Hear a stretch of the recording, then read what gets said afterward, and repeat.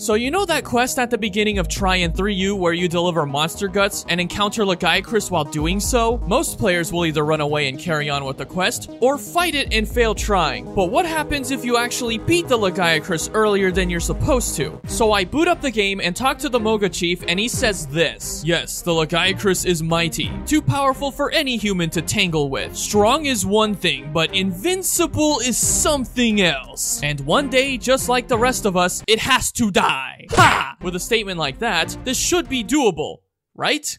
So my thought going into this is to do what any noob would do when they first see a Lagiacrus. Fight it almost immediately despite the warning from the Moga sweetheart. It surprisingly wasn't hitting hard, which was weird since I didn't upgrade my armor. But unsurprisingly, I hardly did any damage and fainted soon after. Now that you've seen how a noob goes about fighting Lagiacrus early, you'll now see the strategy I used to make the fight more doable. Wrestling a bunch of Bullfangos and Rhenoplos to get parts needed to make the Baron's Blazing Gun Lance. I did the quest again to get the rest of what I needed, but fell one material short. Are you kidding me? I'm one short? Ugh. So I had to tussle with the Bullfangos again. Now, I was gonna get the last part needed and intentionally failed to get out of the quest faster, but I ended up getting it on the second to last booty fango, which meant I might as well beat the final one to complete the quest. But after finally getting what I needed, I was able to craft the gun lance and now had a very strong weapon this early in the game. All I needed now was better armor, which I decided on the alloy armor because it has critical eye and speed sharpen, which would be useful. So I got back to the Tanzia port and went to each map to get all the ores needed and made the alloy armor. But there was a bit of an oversight. The armor is weak to thunder. I wasn't too worried since Lagiacrus didn't hit too hard when I was using the leather armor. While I would use the farm to get the resources needed for the fight, I would have to cycle the Kelbi Horn quest over and over if I wanted this done quickly, which would get tedious real fast. So instead, I opted to manually gather the resources myself since it was actually quicker and less boring. After a while of gathering, I crafted some items and got my inventory prepared for the hunt. I upgraded my armor, ate at the canteen, and was now ready to face the Lagiacrus. I was doing pretty well at the start since I was doing decent damage and even broke the chest, but sometime after, I noticed that something was off. I've been at this for 17 minutes and he's not down yet. I wonder what's up. He's not limping yet. Did they bloat his health intentionally in this quest or something? Okay, this has been going on for 20 minutes. I'm gonna see if I can finish him off. It normally would not take me this long to beat him. What is going on?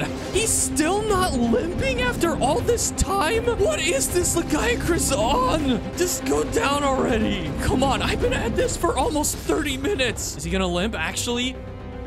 No? The fight was starting to drag on more and more. Normally, when I fight Lagiacrus in low rank with the Baron's Blazon, it takes around 10 minutes to beat. But for this quest, 30 minutes have gone by with no signs of limping. If I don't beat this before time runs out, then I'll know for sure that he has infinite health.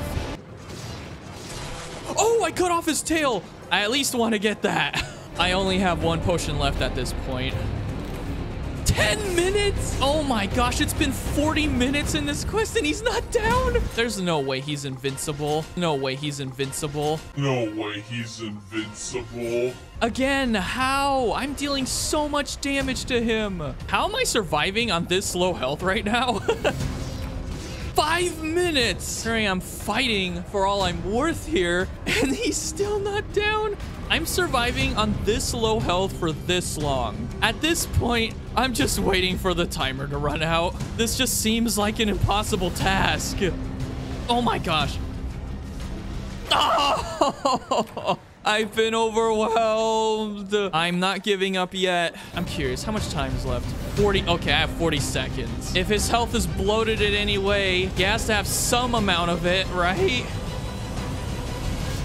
Ah, no! Ah. Strong is one thing, but invincible is something else. So yeah, if you wondered what happens if you beat Lagiacrus early, the answer is you can't, hmm. because Capcom really didn't want players to bypass the game's story. I'm pretty sure even if you could beat it, nothing would happen. You wouldn't instantly get 5-star quests, nor get special dialogue from the NPC saying, Wow, we thought you were reckless, but you did it! You've slain the Lagiacrus! It would be cool though. But hey, at least I got a Lagiacrus tail. That's something. this was a bit of an experiment, but if you want to see a challenge, I recommend watching this video next as I try try to beat Monster Hunter Rise without losing sharpness.